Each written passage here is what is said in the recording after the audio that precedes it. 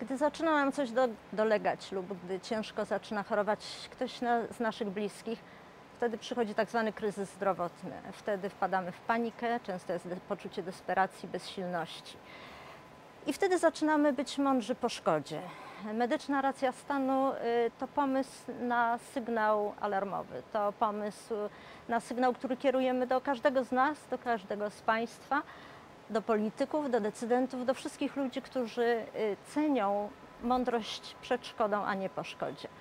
Tezy dla zdrowia mają zwrócić uwagę na to, co jest najpilniejszym działaniem. Nie chcemy rozmawiać, tylko zapraszamy do dyskusji, ale też proponujemy pewne rozwiązania. Najbliższe miesiące będą zaproszeniem również do tego, żebyście Państwo nam odpowiedzieli, jak przyjęliście te tezy i zaproponowali swoje rozwiązania.